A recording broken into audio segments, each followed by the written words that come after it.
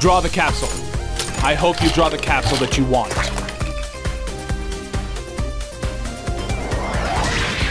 Congratulations on a new unit.